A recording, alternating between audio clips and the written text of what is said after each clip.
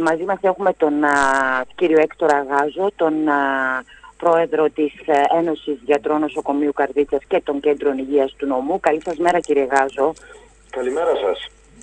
Ε, για αρχή πείτε μας λιγάκι τι ακριβώς συνέβη ε, χθες στο, νοσοκο, στο νοσοκομείο με τη φωτιά που ξέσπασε στο γραφείο των γιατρών στην ε, χειρουργική κλινική ε, με 7 το απόγευμα προκλήθηκε μεγάλη αναστάτωση και βέβαια σπέσατε και εσείς στο σημείο τι έγινε και ε, πώς προέκυψε αυτή η φωτιά; Ε, καταρχάς αυτό είναι και το δικό μας εύλογο ερώτημα. Ε, το, το δεδομένο μέχρι στιγμής είναι ότι προέκυψε μια φωτιά στο γραφείο των γιατρών της χειρουργικής κλινικής. Την ώρα που γινόταν η επίσκεψη των γιατρών και του υπόλοιπου προσωπικού στους θαλάμους της ε, κλινικής, στους ασθενείς.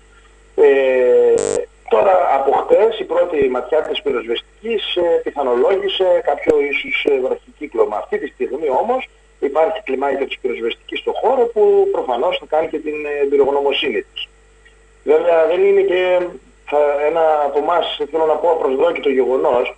Ε, το σημαντικό είναι βέβαια ότι οι, οι, οι ασθενείς ε, χαίρουν όλοι άκρας υγείας με βάση τα προβλήματα που είχαν ε, οι ίδιοι γιατροί και το προσωπικό μπήκε μπροστά για να σβηστεί αυτή η φωτιά αλλά και να μεταφερθούν γρήγορα και με ασφάλεια όλοι οι ασθενείς στις υπόλοιπες κλινικές. Ε, από την αυτοθυσία τους οι ίδιοι γιατροί, ένας από αυτούς ε, νοσηλεύτηκε τουλάχιστον για μία μέρα, είναι καλά προληπτικά περισσότερο, ε, αλλά και άλλοι, και άλλοι, άλλοι γιατροί συνάδελφοί μας οι οποίοι βγήκανε μουτζουρωμένοι σαν από πόλεμο από εκεί μέσα ε, και προφανώς αυτό ε, δημιούργησε άλλο κλίμα σε όλη την εφημερία, σε μια ήδη βεβαρημένη εφημερία με αρκετές ε, νοσηλίες, αρκετές εισαγωγές από κορονοϊό και θανάτου. Ε, έτσι είναι η κατάσταση στο νοσοκομείο αυτή τη στιγμή. Μάλιστα, από βραχικύκλωμα οι πρώτες έτσι, πληροφορίες. Και έκλεισε και ένα τμήμα της παροχής του οξυγόνου, μην τυχόν γίνει έκρηξη. Τώρα τα, τα αυτά, ευτυχώς που δεν είχαμε χειρότερη εξέλιξη σε αυτή την, από αυτή την πυρκαγιά, ναι, κύριε Γάζο. Ευτυχώς οι ίδιοι συνάδελφοι μπήκαν μπροστά από την πρώτη στιγμή, μόλις έγινε αυτό και κατάφεραν και να σβήσουν την πυρκαγιά και να πηγαδεύσουν σε εισαγωγικά τους ε, ασθενείς στις υπόλοιπες κλινικές.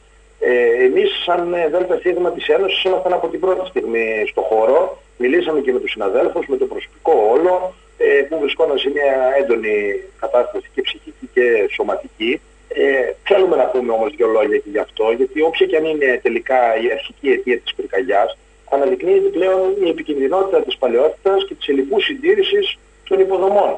Να θυμίσω, όπως είπατε τώρα για το οξυγόνο, ότι τέτοια περίοδο πέρυσι είχαμε το lockdown σε εισαγωγικά στην παροχή του οξυγόνου. Φέτος είχαμε αυτό το φαινόμενο είναι ζητήματα παλαιότητας και λοιπού συντήρησης των υποδομών, κάτι που εμείς έγκαιρα είχαμε θίξει στη διοίκηση του νοσοκομείου με αφορμή το σεισμό στην περιοχή μας το 2019, ότι όλα αυτά θα έπρεπε να προβλεφθούν με άλλη διοίκηση τότε, άλλη κυβέρνηση. Η απάντησή μας σε κάθε φορά που, μας, που συζητάμε κάτι για τις υποδομές, σε όλα αυτά η απάντηση είναι ότι περιμένουμε την ενεργειακή αναβάθμιση. Μια ενεργειακή αναβάθμιση ναι. που πηγαίνει δεκαετία τώρα και πραγματικά αφήνει εκτεθειμένους και τους εργαζόμενους και τους ασθενείς ε, μέσα στο νοσοκομείο.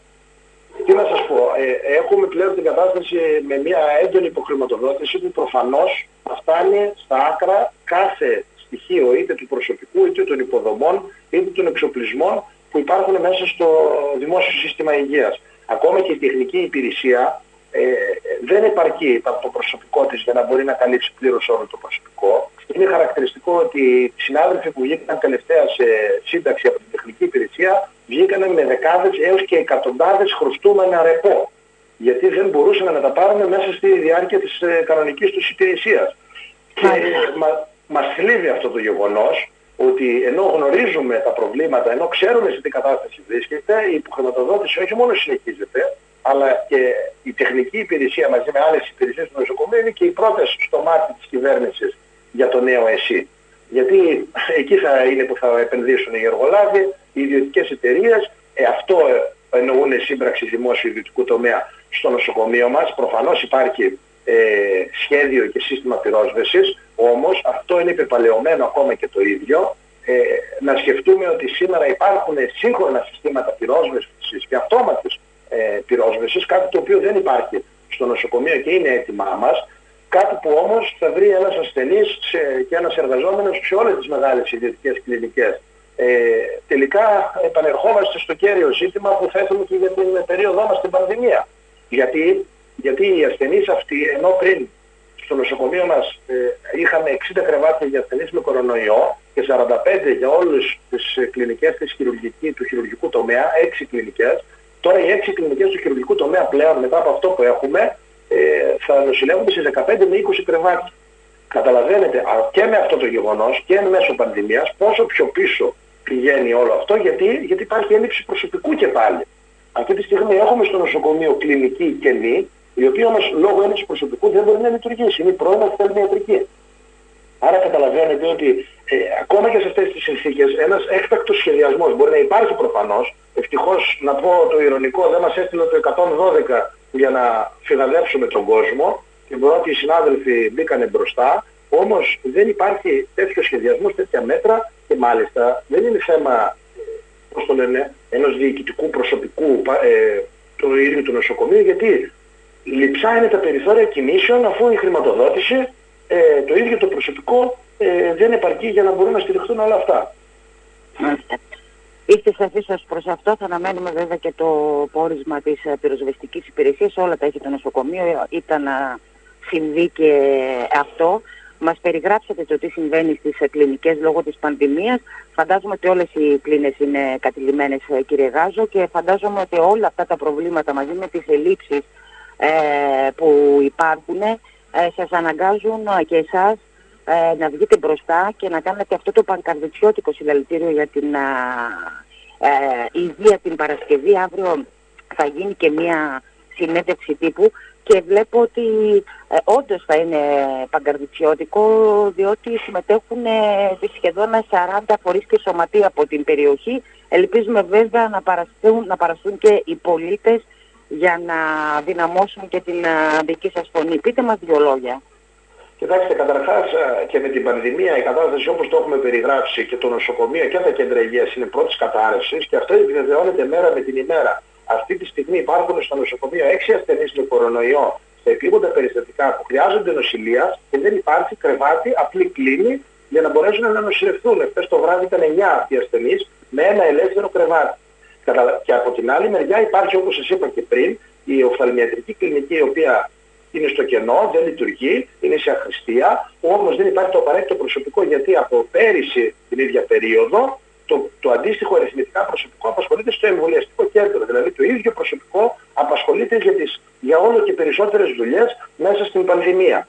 Όλη αυτή η κατάσταση και όπως την έχουμε περιγράψει και το, το τελευταίο δεκαήμερο και από το δικό σας το σταθμό, ε, γιγαντώνεται. Γι' αυτό είπαμε, καλέσαμε την προηγούμενη εβδομάδα και έγινε μια μεγάλη σύσκεψη πραγματικά με σχεδόν 40 σωματεία και φορείς ε, από όλο τον νομό. Μάλιστα ακόμα περισσότερα σωματεία έχουν δηλώσει τη συμπαράστασή τους και θα συμμετέχουν στο συλλαλητήριο που διοργανώνουμε την Παρασκευή. Είναι κομβικό το ζήτημα της υγείας, όχι μόνο για μας τους υγειονομικούς, αλλά για όλο το λαό. Γι' αυτό ανταποκρίθηκαν και όλοι οι φορείς, οι λαϊκοί φορείς, Γι' αυτό θα βρίσκονται εκεί όχι μόνο εκπρόσωποι τους και φαίνεται ότι υπάρχει ανταπόκριση από τον κόσμο. Κάνουμε προσπάθεια πραγματικά να γίνει μια τέτοια κινητοποίηση έτσι ώστε να καταθέσουμε τα αιτήματά μας στην περιφέρεια, εκείνο στον αρμόδιο αντιπεριφερειάρχη εδώ στην Καρδίτσα, γιατί ο κόμπος έφτασε στο χτένι, πρέπει τώρα να υλοποιηθούν όλα μας τα αιτήματα, με πρώτο και κύριο αυτής της περίοδου την επίταξη του ιδιωτικού τομέα της υγείας, γιατί, όπως καταλαβαίνετε, οι ασθενείς πλέον δεν χωρούν και στις yeah, δεν έχουν κλίνες, ναι, είναι σαφές, ούτε κλίνες υπάρχουν, ούτε Ακόμα και η επιστράτευση για τα μάτια του κόσμου, για τα μάτια μας, ε, δύο-τριών ε, ιδιωτών γιατρών δεν μπορεί να λύσει το πρόβλημα. Το προσωπικό βρίσκεται σε, σε πολύ άθλια κατάσταση, είναι προφανές, ε, είναι πολύ επικίνδυνο το επόμενο διάστημα να μην μπορούν να καλύπτονται όλα και το προσωπικό μας πλέον είναι δικαιολογημένο ε, να καταραίει σε αυτή την ε, κατάσταση ολόκληρη, είτε σωματικά είτε ψυχολογικά.